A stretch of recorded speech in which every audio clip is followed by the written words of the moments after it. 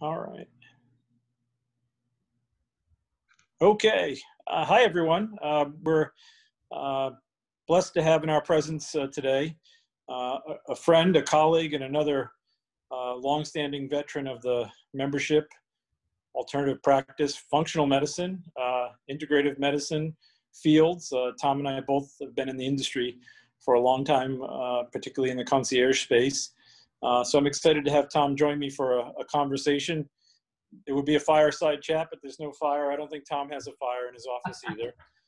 and uh, I'm excited to have a, a, great conversation about a recent survey that Tom brought to my attention uh, a couple of weeks ago. And uh, we were really interested in, in some of the findings. Uh, it's a self-reported uh, study that was conducted. and without further ado, Tom, let's let's have a chat and and uh, discuss this survey and the findings and, and see how it relates to membership uh, style practice in medicine. Yeah, yeah, happy to. So, so the the story of it is, uh, you know, when the pandemic hit, it it um, you know it was it was clear that this was going to have a, a, heavy effect on independent practices, and um, some colleagues and I uh, that uh, that I've worked with forever decided back in March to stand up a uh, sort of a resource site for independent practitioners, mostly in the root cause medicine sort of arena, and um, you know to help them sort of make the accelerate their evolution into what really is is probably going to be our new reality for a while, uh, if not indefinitely in some ways, and, and at least as, as it relates to, to medical practice. So anyway, about six months into it, back in August, we you know we thought to ourselves, well, it's it's probably a good time to kind of take the temperature of the practitioner universe, see what the the impact of COVID has been on practices, um, and uh, you know how far have people gotten in their in their transitions, and and what have we and what have we learned? And so with uh, with the help of I don't know more than a dozen different different kind of collaborators in terms of sending this survey out, uh, industry and education collaborators for the most part, we um, you know, we fielded what I think was probably the largest survey to be, you know, to be ever conducted in the root cause medicine space. We had 3,505 respondents to this, and um, and across a host of practitioner types. But each was, I mean, we had a ton of MDs and DOs and and uh, and nurse practitioners uh, to to respond. So it gave us a really great great look into things. And there, the the takeaways were and I mean, and, and and there's actually a lot of slicing and dicing that we can do on this. But the big takeaways from this were, um, well, actually, I'll do, do it this way. I, I want to, to to sort of sensationalize it a bit. I, I, I will cast this against the backdrop of of another survey that kind of coincidentally was we, occurring almost at the same time, maybe a few weeks earlier, which was the uh, the Merritt Hawkins Physicians Foundation uh, survey of the whole physician universe. So they poll about a half a million physicians. Their survey got about 3,500 respondents as well. And what they learned was uh, they they they observed that number one, physicians generally felt like, boy, the pandemic is going to wreak havoc on independent practice. Something like 59% of these of these physicians said this is going to hit independent practices really hard. They also discovered that it, that 8% of their respondents had reported having temporarily or permanently closed their practice, with another 4% anticipating having to close the practice in the next 12 months. Now, when you drilled a little deeper into that, what you found was is that 76% of the practice closures actually occurred uh, among independent practices. So, in, in fact, uh, you know, the pandemic had, as we would all imagine, hit independent practices much harder. So, so when you kind of did the math on that, it's a little under 15% of independent practices at that time had temporarily or permanently closed when we looked at the practitioners in the root cause sort of medicine arena, and by that I mean functional integrative lifestyle medicine, very much the type of uh, you know the type of medical care that you guys are, are sort of set up to support. the um, what we found was is that the among MDs and DOs, uh, sort of looking apples to apples, the the temporary or permanent closure rate was only two percent. So right off the bat, what what we saw was was the you know sort of sort of very clear evidence that the both the consumer appetite for that type of medicine as well as the relationship that that type of medicine creates with people was you know proved you know proved more sticky and and more engaging and people were more inclined to uh, you know to to to remain engaged even in the weird disruption of the pandemic. So then when we slice this by business model what we saw was really quite fascinating which was you know absolutely the you know the triumph of what i would call value based payment models in the retail world which would be number one, membership. And number two, a really interesting one, uh, that was that has been sort of emerging for a while is the use of bundled programs, potentially even in combination with membership. But what was wild was the among the membership practices, a there were zero closures in the in the sample, and and we had a we had a good many membership practices to respond. So that was that was really exciting and validating and and just nice to see. But we also saw 24% of membership practices actually in 2020 are doing better than ever. Another like 40% were completely unaffected by COVID. So, you know, their revenue didn't, you know, didn't change a bit. And so what we essentially kind of can take from that, I mean, you got what is that 64% of membership practices are right, yeah. yeah. better than they ever have.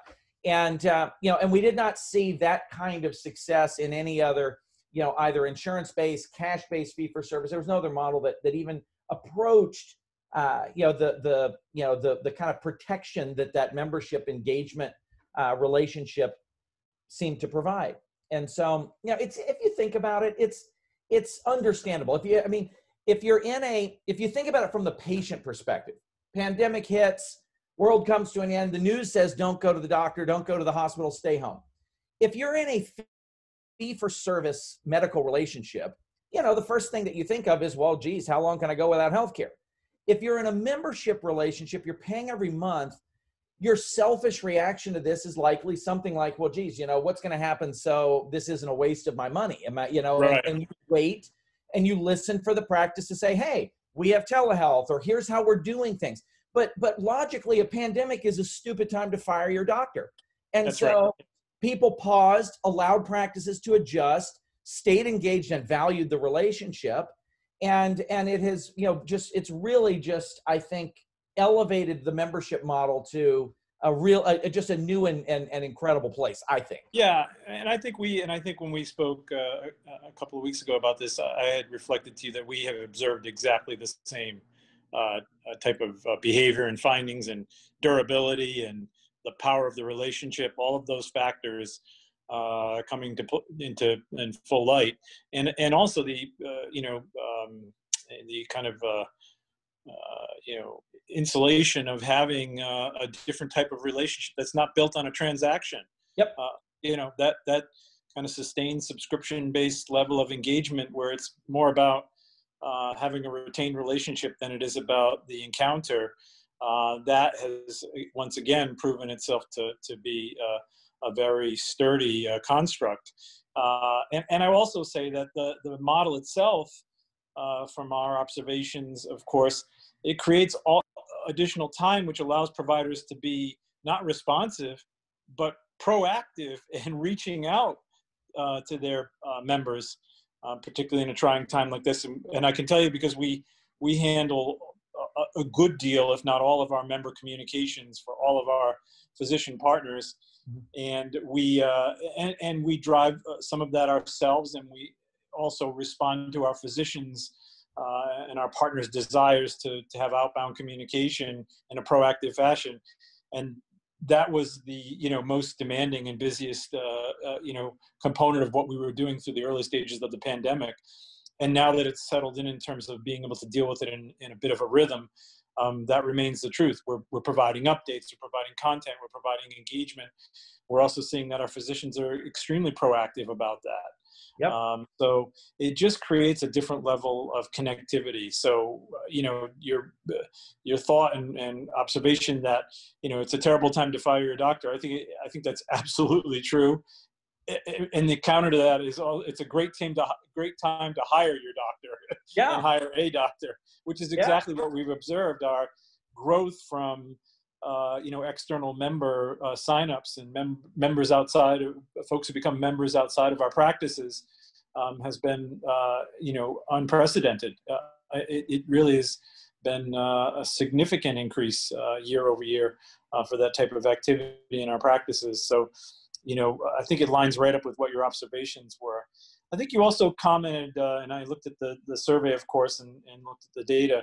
Um, to speak to uh, the mortality uh, observations as well as hospitalization observations that were, were seen in this. Yeah, uh, yeah, this was fascinating. So, you know, it, it's uh, we, one of the one of the dimensions of the survey had to do, of course, with you know with with COVID and, and health outcomes in particular. And we asked the uh, we asked patient or, or practitioners to report on uh, you know everything from the number of you know COVID cases that they have all the way to the number of of, of uh, you know COVID deaths. And and when we looked at the the rate the the number the percentage of of COVID patients that were hospitalized and then the percentage of COVID COVID patients that uh, you know that, that died, self-reported, of course. Uh, we saw a, a, remarkable difference between the uh, the insurance-based practices and the membership practices, which was that the rate of hospitalization was about a third amongst the amongst the membership practices, and interestingly, the death rate was maybe 40% what it was in the other practices. And so I really kind of wrestle with this. The the hospitalization one didn't, you know, didn't strike me as as terribly surprising because as we've seen on television, kind of the the order of the day has been okay, if you you if you have COVID or even symptoms of COVID, the the protocol is go home, isolate, kind of wait and watch and see what happens. And if you sort of start having real trouble breathing, go to the emergency room. And so what we were seeing, of course, was you know, were, were, patients panicking and, and going in and out of the you know, emergency room from a health plan standpoint, driving up lots and lots of health claims. Um, and, uh, and so, of course, having access to a doctor that's following you more closely, you know, it, it stands to reason, which is also to say, you know, anybody that is, you know, that that's, that's on the, um, on the underwriting side of those healthcare costs would be, would be delighted to have COVID patients in the care of a, of a private physician in a membership practice for this very reason. It's a huge, huge money saver.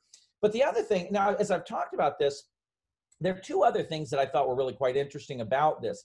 One was membership practices, as we discovered, are, are very disproportionate to other practices in, in establishing sort of a specialty beachhead around cardiovascular risk management way yeah. more carotid IMTs, way more use of, of you know Cleveland Heart Lab and Boston Heart, we have advanced cardio labs, and and of course as time has gone by, we've seen that you know that COVID, uh, you know some people would you know say is almost like a vascular disease, and so and so you know managing inflammation, things like this, it, I think I think gave these doctors a leg up. One other thing I would say, because there will be people that listen to this and are like, well, membership practice is a socioeconomic thing. And, and what you have to remember is, is that we were polling practices that were entirely root cause practices. So the, the you know, many, most of these practices were in some form of private pay medicine.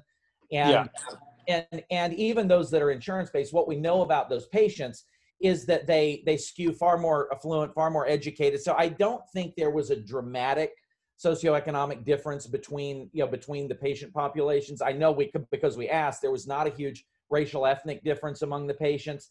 So, so I do believe that this, you know, that this had had a lot more to do with uh, probably to an extent some of the training the doctors have invested in above and beyond right. their basic training, and of course the the connectivity that the model provides. Yeah, yeah, I agree, and I, I think. Uh, and the vast majority of membership practices, uh, in spite of what some of the, you know, public uh, presentation maybe by the media, are are actually you know very affordable. Uh, they're in the anywhere from 100 to, to 200 dollars a month. Right. Uh, you know range, um, and, and, in some instances uh, there's some gradation. Um, you know uh, based on certain characteristics that you know really make it very affordable. So you know it, there is a certain socioeconomic strata that's represented, but but it's not I think what most people would would believe totally. it to be. You know, uh, it really ends up being about folks who have prioritized their relationship with their physician um, and, and who understand that they have that focus on prevention. And you're right, and who also appreciate the fact that their physicians have decided not to, you know, kind of maintain the status quo. They've invested uh, both in themselves in terms of becoming uh, more informed and, and uh, you know, more capable providers in the preventative space, um, you know, and in the integrative space.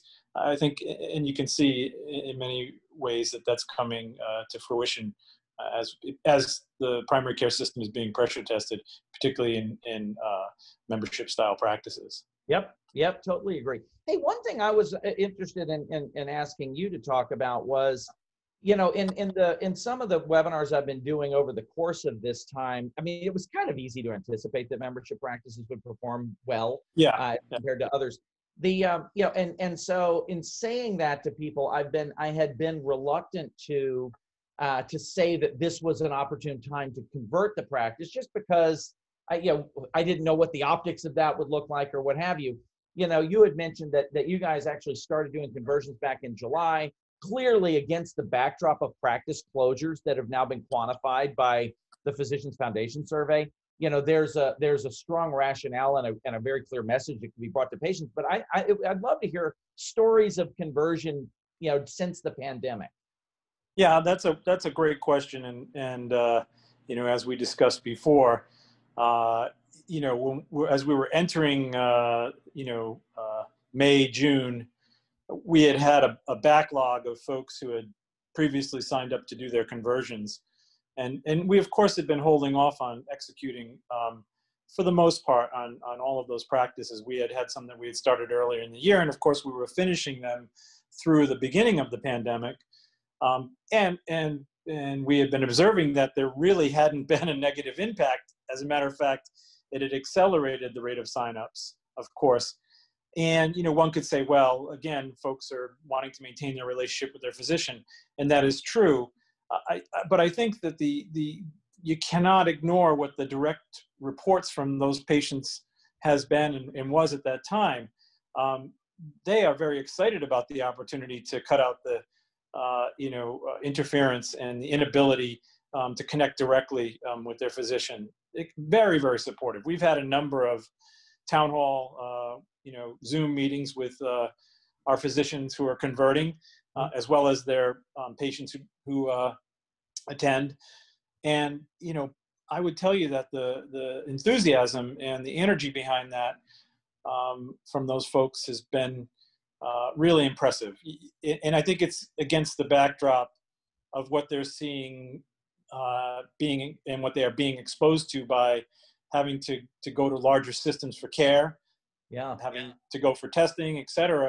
All of those kind of encounters with larger systems make them appreciate that that really closely held relationship all the more.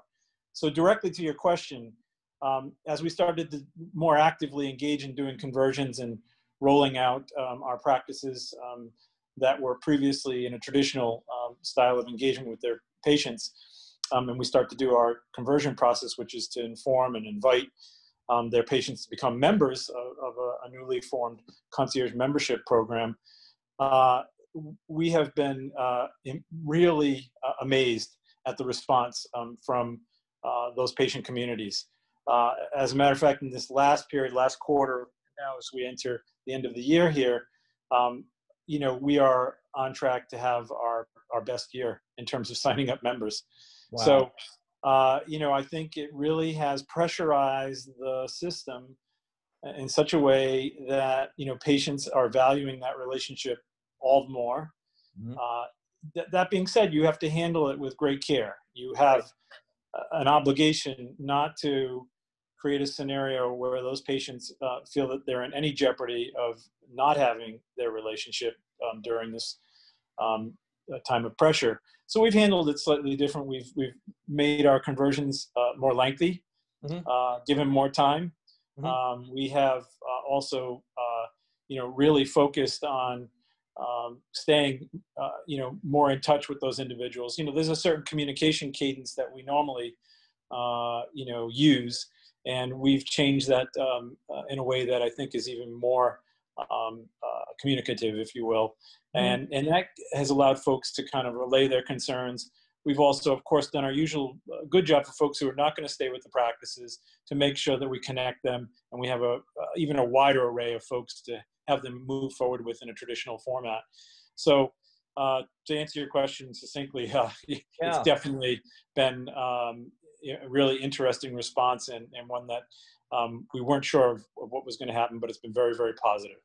Nice, nice. Well, you know, I mean, it, it certainly seems to me that this is a uh, this is a great in light of what you've discovered, and and frankly, I do think that that the just circumstances around the independent primary care practices nationwide really kind of invite doctors to to adopt innovative approaches to maintaining you know and sustaining the independent practice and and and better and better serving patients and this is just such a, a phenomenal way to do it and and to hear that you guys have fashioned a way to communicate about it in a way that doesn't ruffle feathers and and and and cause issues. It's it's I mean it's just it's it's actually kind of very exciting, you know, to hear that. Yeah, it- really comes down to you know the, the, the reality that you know we're in the communication business more than anything else. Yep. Um, whether we're communicating information about uh, prevention or we're communicating information around uh, you know uh, the conversion of the practice or the change in the level of engagement Right. with the provider. But ultimately, it comes back to communication in that we are providing a platform and a capability and a level of connectivity and collaboration that only exists in a membership style practice. Uh, Yep. I'd be so bold to say. and I, I think that's agree. what we're seeing. I think that's what we're seeing, and we're seeing that uh, it is, uh, you know, very durable, uh, and uh, and I think that that's very exciting for both provider and for for patients, um, and uh, and I think we'll see uh, even more compelling outcomes data and uh, utilization data that reinforces that as we move forward. So I wanted to, to say thank you. Uh, so wonderful to chat with you, uh, and uh, and we will keep the uh, lines of communication open to end on the communication note. And you'll let us know your additional findings, and as we find uh, and discover more about how this is unfolding for us, we'll be sure to share it back with with you folks as well. Oh well, wonderful, wonderful. Well, thank you, Dean. Great to see you as always. Great to see you, Tom. Take care of yourself. Thanks so much. Bye-bye. Bye bye.